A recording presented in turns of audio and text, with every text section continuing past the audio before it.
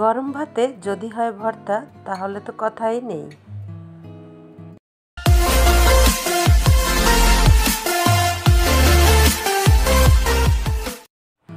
Hello friends, আসসালামু আলাইকুম। Welcome back to my channel Dimas blog. আশা করি যে যেখান থেকে দেখছেন সবাই ভালো আছেন। আমরা আল্লাহর আশিস রহমতে অনেক ভালো আছি। তো আজকে তোমাদের সাথে বন্ধু আমি দেখাবো মৌসিম আর বরবটি এই দুই ধরনের সহজ ভর্তা আমি কীভাবে বাসাতেই সহজে বানিয়ে নিই এবং খুব সহজেই কোনো রকম মশলা ছাড়া আমি এই ভর্তা দুটি বানিয়ে নিচ্ছি। তো দেখতে থাকো, এখানে আমি মৌসিম নিয়েছি সাত থেকে আট পিস আর এগুলোকে আমি আগাগোড়া কেটে নিয়ে আঁশটা ছাড়িয়ে ছোট ছোট টুকরো করে নিচ্ছি। দেখতে পাচ্ছ, একটি চাকু দিয়ে কিন্তু আমি এর আগা এবং গোড়া কেটে নিচ্ছি এবং টুকরো করে, টুকরো টুকরো করে নিচ্ছি। এই তো, মৌসিমগুলো আমার কাটা হয়ে গেছে, এখন এগুলোকে আমি ধুয়ে নেব। আর এদিকে আমি বরবটি, সেগুলো ছোট ছোট টুকরো করে আশ ছাড়িয়ে নিয়েছি, এগুলোকেও আমি ধুয়ে নিচ্ছি। এখন চুলায় আমি একটি পাত্র দিয়ে দিয়েছি, আর সেখানে আমি কিছুটা পরিমাণ পানি গরম দিয়ে এর মধ্যে আমি মৌসিম এবং বরবটিগুলা সিদ্ধ করতে দিয়েছি। দেখতে পাচ্ছেন পানিটা কিন্তু বলক উঠে এসেছে এবং মৌসিম আর বরবটি আমি একসাথেই সিদ্ধ করতে দিয়েছি যাতে এটা ভালোভাবে সিদ্ধ হয়। আমি একটু তুলে দেখছি যে সিদ্ধ হয়েছে কি না তোমরা চাইলে যে কোনো কাঠি দিয়ে বা শলা দিয়ে এটাকে দেখতে পারো বা হাত দিয়েও চেপে দেখতে পারো যে কতটা সিদ্ধ হয়েছে। আমি ঢাকনা দিয়ে ঢেকে রেখেছিলাম। এখন ঢাকনা তুলে দেখতেছি যে এটা আসলে কতখানি সিদ্ধ হয়েছে। মৌসিম এবং বরবটি দুইটা একসাথে সিদ্ধ হয়ে গেছে। এখন এটা আমি তুলে নিচ্ছি একটি সার্ভিং বলে।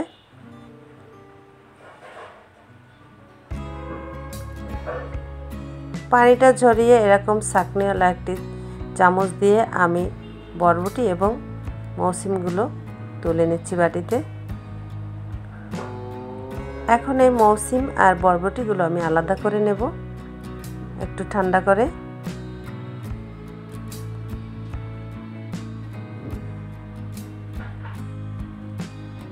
তো বন্ধুরা, তোমরা যদি আমার ভিডিওটি এতটুকু পছন্দ হয়ে থাকে, ভালো লেগে থাকে, তাহলে অবশ্যই একটি লাইক দিতে ভুলো না আর সাবস্ক্রাইব করে বেল বাটনটি প্রেস করে দিও যদি তুমি আমার চ্যানেলে আজকে নতুন হয়ে থাকো।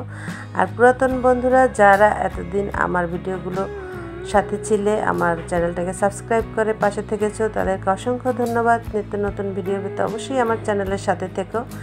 এই তো আমার মৌসিম এবং বরবটিগুলো আলাদা করা হয়ে গেছে। এখন আমি এখানে চুলায় একটি প্যান বসিয়ে দিয়েছি। দেব সরিষার তেল, দুই টেবিল চামচ।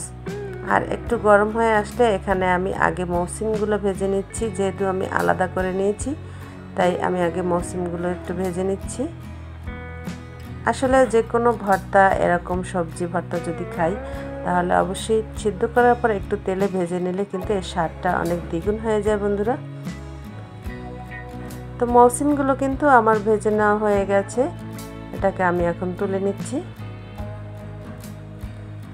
এরপর আমি বরবটিগুলো ভেজে নেব। আমি চুলায় যে তেল ছিল ওর মধ্যেই কড়াইয়ের তেল যে আছিল, ওটার মধ্যে কিন্তু আমি বরবটিগুলো দিয়ে দিচ্ছি। এবং বরবটিগুলো আমি হালকা ভেজে নিচ্ছি। খুব একটা পুরে পুরে ভাজবো না, হালকার উপরে ভেজে নিচ্ছি। এই যে বরবটিগুলো কিন্তু ভাজা হয়ে গেছে, এখন এটা আমি প্লেটে তুলে নিচ্ছি। বরবটি এবং মৌসিম ভাজা হয়ে গেলে এখন আমি সেই কড়াইতেই কিন্তু শুকনো মরিচ ভেজে নেব। এখানে আমি সাত আট পিস শুকনো মরিচ নিয়েছি। এটাকে আমি একটু ফ্রাই করে নেব। এই যে দেখতে পাচ্ছ আমার মৌসুম এবং বরবটি দুটোই কিন্তু ফ্রাই করা হয়ে গেছে। শুকনো মরিচটা ভাজা হয়ে গেলে আমি এটাকে তুলে নিয়ে একটু ঠান্ডা করে নেব।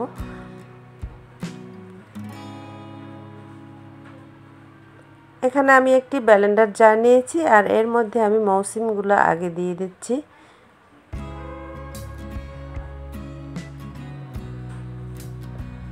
মৌসিমগুলো দেওয়া হয়ে গেলে এখানে আমি দেব সেই ভেজে রাখা শুকনো মরিচ, পেঁয়াজ কুচি, তিন টেবিল চামচ,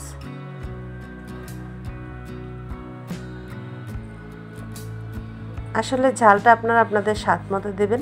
যেহেতু আমার বাচ্চারাও খাবে, তাই আমি একটু অল্প পরিমাণে ঝাল দিয়েছি। ভর্তায় কিন্তু ঝাল একটু বেশি লাগে, তবে সবাই ঝাল খেতে পারে না। যার যার ফ্যামিলির লোকদের উপর ডিপেন্ড করে আসলে কে কতটা ঝাল খায় সেরকমভাবেই আসলে ঝালটা দিতে হয়।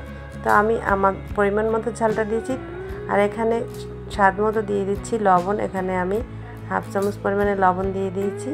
এখন আমি ব্লেন্ডার জারের ঢাকনাটা ঢেকে দিয়ে এটাকে ব্লেন্ড করে নেব খুব মিশ করে। যে আমি কিন্তু কোনো পানি দেইনি, পানি ছাড়া এই সবগুলো একসাথে মিক্স করে ব্লেন্ড করে নিয়েছি। বন্ধুরা, আমার ভর্তাটা কিন্তু হয়ে গেছে। এখন এটাকে একটু লবণ চেখে দেখলেই হলো যে আসলে লবণটা সঠিকভাবে হয়েছে কি না যদি না হয়ে থাকে তাহলে এ পর্যায়ে তোমরা একটু লবণ মেখে নিতে পারো। এই তো আমার মৌসিম ভর্তা হয়ে গেছে। এখন আমি বরবটিগুলোও সেরকম একই একইভাবে ব্যালেন্ডারে দিয়ে দিচ্ছি এবং এর মধ্যে দিয়ে দেব মরিচ যে ফ্রাই করে রেখেছিলাম শুকনো মরিচ, সেটা। এখানে আমি ঝালটা কিন্তু আমি আগেই বলেছি, আমার পছন্দ মতো দিয়েছি বন্ধুরা, তোমরা তোমাদের প্রয়োজন মতো দিয়ে দিও। দিয়ে দেব কাঁচা মরিচ, এই, কাঁচা পেঁয়াজ কুচি এবং দিয়ে দেব লবণ স্বাদ মতো। এই তো এখন ঢাকনাটা দিয়ে ঢেকে আমি ব্লেন্ড করে নিচ্ছি। ব্লেন্ড করা হয়ে গেছে বন্ধুরা, দেখতে পাচ্ছ? আমার এই বরবটি ভর্তাটাও কিন্তু একেবারেই পারফেক্টলি হয়ে গেছে। এখন আমি এটাকে সার্ভ করে নিচ্ছি। তো এই তো দুই ধরনের ভর্তা তোমাদের সাথে শেয়ার করলাম। আসলে গরম ভাতে ভর্তা হলে কিন্তু অসাধারণ লাগে। ভর্তা হলে কিন্তু আর মাছ মাংস কিছুই লাগে না। এইভাবে একবার ভর্তা করে খেয়ে দেখো বরবটি এবং মৌসিম। তো আজকে এখানেই বিদায় নিচ্ছি বন্ধুরা। সবাই ভালো থেকো। আল্লাহ হাফেজ।